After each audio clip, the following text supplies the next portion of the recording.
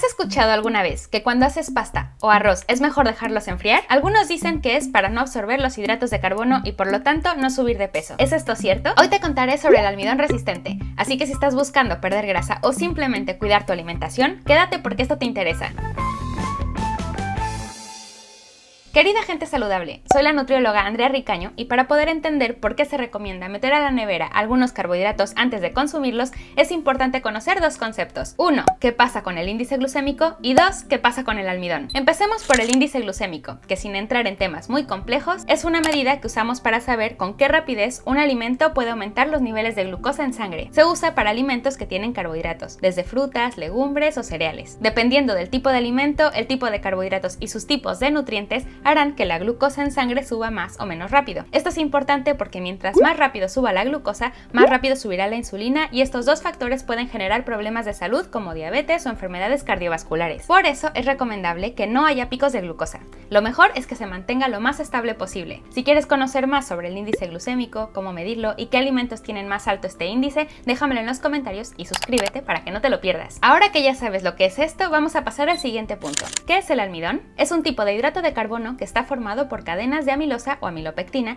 que cuando llegan a los intestinos se desdoblan para pasar a la sangre en forma de glucosa. Hay diferentes tipos de almidón. Algunos pasan antes a la sangre, otros pasan más lento, pero por ahora nos enfocaremos en un tipo de almidón que no lo podemos digerir y que se llama almidón resistente. Este tipo de almidón se encuentra de forma natural en legumbres, en frutos secos y en algunas frutas como el plátano. Pero además hay alimentos que no contienen este tipo de almidón o que tienen muy poquito, pero que gracias a un proceso llamado retrogradación enzimática consiguen generar almidón resistente. Este proceso se consigue enfriando ciertos alimentos almidonados por un tiempo determinado. Por ejemplo, los tubérculos como la patata, boniato, la yuca, etc., los cereales como el arroz o el trigo y también por eso la pasta. Los humanos no podemos digerir el almidón cuando se encuentra crudo. Es por eso que este tipo de alimentos los comemos cocidos o hervidos. ¿Y recuerdas qué era el índice glucémico? Pues cuando estos alimentos se calientan, el almidón presenta un índice glucémico muy elevado y por lo tanto se absorberá rápidamente. Sin embargo, cuando se enfría se consigue que las paredes de la célula del almidón se endurezcan y por lo tanto su absorción sea más lenta, o sea que sigue siendo digerible pero se absorben menos carbohidratos. ¿Y qué pasa si no me gusta la pasta fría o el arroz? Pues no hay ningún problema porque la buena noticia es que una vez que los has dejado enfriar, cuando los vuelves a calentar,